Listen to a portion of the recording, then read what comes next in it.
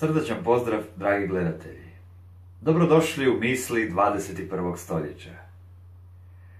Danas ćemo govoriti o jednoj temi za koju sam inspiraciju dobio nedavnim posjetom mome domu dvojice Jehovih svjedoka. Naime, ta dvojica su jedne subote odlučila pozvoniti i na vrata moga stana. Naravno, odmah su mi ponudili svoje promotivne materijale, no pošto sam u to vrijeme baš intenzivno proučavao Bibliju, te neka dijela tome Akvinskog i još neke apokrifne spise, odlučio sam se za jedan mali eksperiment. Rekao sam onoj dvojici Jehovi svjedoka da mi mogu govoriti što goda zažele i da ću se ako treba priključiti njihovoj organizaciji ako mi uspije objasniti prvu stranicu Biblije. Samo prvu stranicu Biblije i ništa drugo. Evo, dragi gledatelji, pred nama je prva stranica Biblije, vidimo knjiga postanka, početci svijeta i čovječanstva i prvi izvještaj o stvaranju, kao što možete vidjeti. Jehovi svjedoci su odmah počeli govoriti kako je Jahve stvarao svijet sedam dana te su počeli citirati neke pasuse iz teksta Biblije. Na to što su oni govorili, ja sam ponudio konkretne činjenice i dokaze.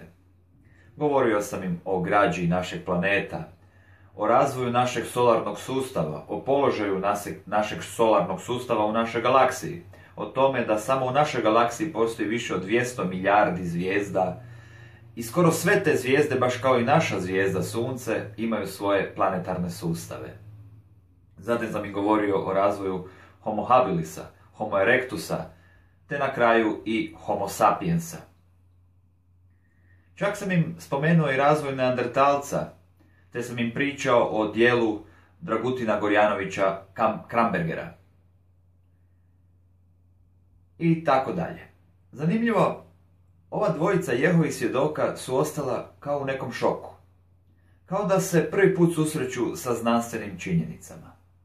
Možda to i nije bio slučaj, ali su oni meni upravo tako izgledali.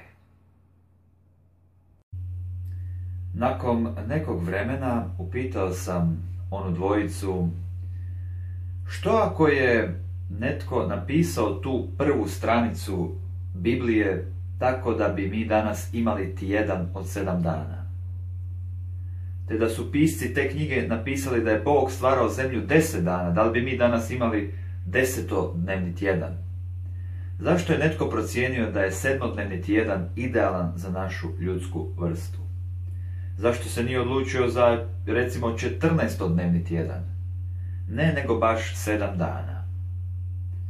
Naravno, ona dvojica nisu imali nikakav odgovor. Na ostalo je ovo pitanje u zraku. Nakon tjedan dana, druge subote, opet su ona ista dvojica Jehovi svjedoka došla na moja vrata sa nevjerovatnim objašnjenjem. Naime, rekli su kako, je, su kako su održali sastanak u svojim prostorijama na temu onoga što sam im ja bio rekao. Te su došli do sljedećih zaključka. Da Bog Jahve nije stvarao svijet zapravo sedam dana, već da je jedan dan trajao tisuću godina, pa je da je to sve skupa trajalo sedam tisuća godina. Što je naravno potpuni nonsens. No, pustimo sad Jehove svjedoke na miru, nisu oni ovdje bitni. Ostaje nam ovdje jedan puno zanimljiviji misterij. Misterij prve stranice Biblije. Netko je stvorio mit o sedam dana stvaranja svijeta, ne zato što je to istina, nego zato da bi mi danas imali tjedan od sedam dana.